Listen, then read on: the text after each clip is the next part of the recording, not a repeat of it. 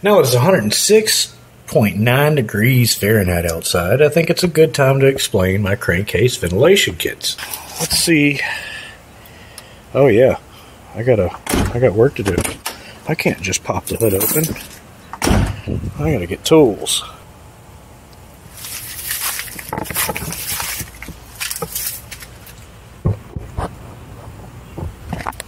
So by now you've seen that our channel is a little bit different from everybody else because we use music that's mainstream that you like, that you heard of. And we use it legally. Even though UMG and BMG companies like those, they're not very happy about it. Well, it's federal law, so they're just going to have to get over it. Today we're going to discuss crankcase ventilation and how it can help you make more horsepower. So let's get it. This is a stock, pretty much stock, basic 940. Now, there's a couple upgrades here and a couple downgrades, a couple even more downgrades for this unit because it's stock boost. It's ridiculous to have this intercooler on it. However, there's some upgrades like this harder plastic pipe because this is a big issue on these cars. They like to suck in when you turn the boost up and choke for air. This is the crankcase ventilation hose right here. It has a little heater element on it that always has power to it. I almost burned my car down, this one, because of this thing. I actually took this off and laid it down here, and this wire kind of corroded. The shielding broke, and it started nuking in there and ended up burning my harness way back in the dash. We almost made it home, and the car was catching fire inside. Big deal. So if you take this off, tape it up, run it away around the corner, run it out of the way. This is the crankcase ventilation that comes from the flame trap down there. It's a little box. The box is basically an oil separator. It separates the oil supposed to drip back down in. There's a little little three-way deal here, union. It goes to a vacuum hose, and that vacuum hose basically assists the vacuum for the crankcase ventilation when it's at idle, when the butterfly is shut. And what that does is it helps the rings seal by putting a vacuum on the bottom of the piston and as those pistons are jumping up and down in the crankcase, there's a lot of turbulence. And this right here helps suck all that turbulence out, as well as some of the gas fumes unburned, and goes back in the motor. We had a dry sump Fiat race car, 1.1 liter. We took the oil cap off and ran it, it lost 5 horsepower. Put the oil cap back on, gained 5 horsepower at the tires. It's a big difference. It makes more power, it runs more reliable if you get that turbulence out of the crankcase. So what we did with my car is pretty much the same thing. There's supposed to be a check valve on this bad boy, and I see that there's not. Very interesting. Huh.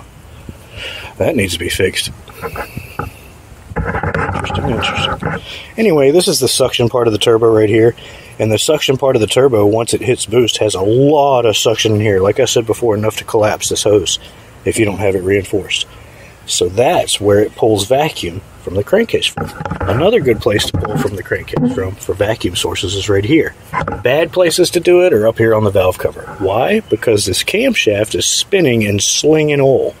You don't want slinging oil to get into your to get into your turbo, right? So a lot of people go and put catch cans and stuff like that because they put a valve cover vent up here and it starts slinging oil and the turbo starts ejecting oil. So then they add a catch can and they go on and on and on with the backwards mods. Don't do it. Use the stock one. Now, if you don't vent this correctly, and let's just say you open this up to atmosphere and you close this off down here, you're going to create a lot more problems than you think. This is going to be blowing into the atmosphere, and then your seals are going to start blowing out because the pressure isn't getting scavenged from the crankcase. It starts going in the head. It'll blow the front seal. It'll blow the front main seal down there. It'll blow the rear main seal down there. It'll basically find all the gaskets it can blow and blow them. Trying to find a way out for all that pressure. So, here's what you do. If you got a 500 horsepower monster or above, look at how much that motor moved. Wastegate rocked it, hit it up, bent the hood. Turbo, same thing. Turbo hit the hood, bent it. Put a little gash in my oil line. Bent the hood down there. I mean, let's face it, this wasn't show quality, but dang. As you saw before, same principle. I super glued JB Weld super glue ceramic super glued this in here. Loctited that plastic nut. It's just a fitting with a hole, and it goes straight to my catch can. My catch can is actually a AC accumulator from a GM. I think it's a suburban accumulator for an AC unit.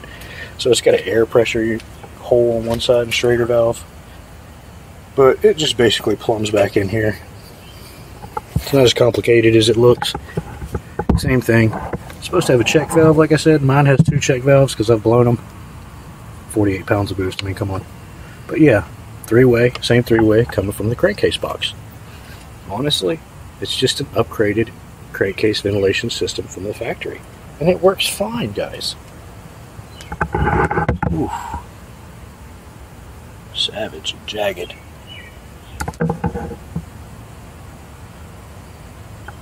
So that's the skinny.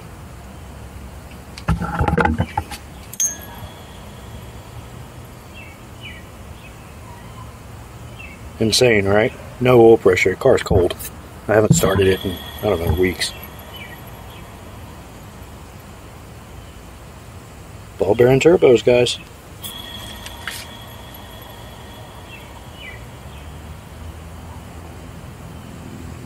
Third Coast turbos, look them up.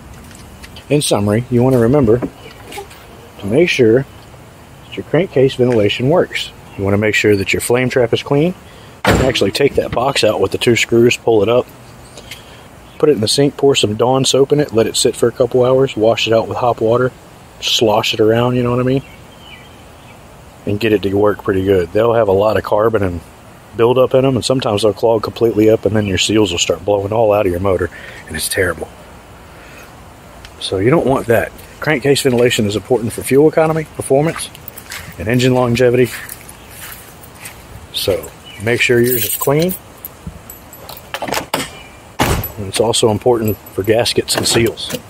So make sure yours is clean. Make sure it's hooked up right. Make sure it's got the check valve, because as you saw, we need a check valve for this. All right, guys. Thanks for joining us. We'll see you next week. Keep your turbo world. As always, thanks for watching. Check out our other playlists, musics, parodies, and stuff like that. Politics, nature, science, and more. Is the number of they did what I did years ago. That's what you have to do. But I, I am happy with progress. I'm, I'm prepared to sign it, and I'm ready to go. All right, guys. See you. Wherever he goes, I go.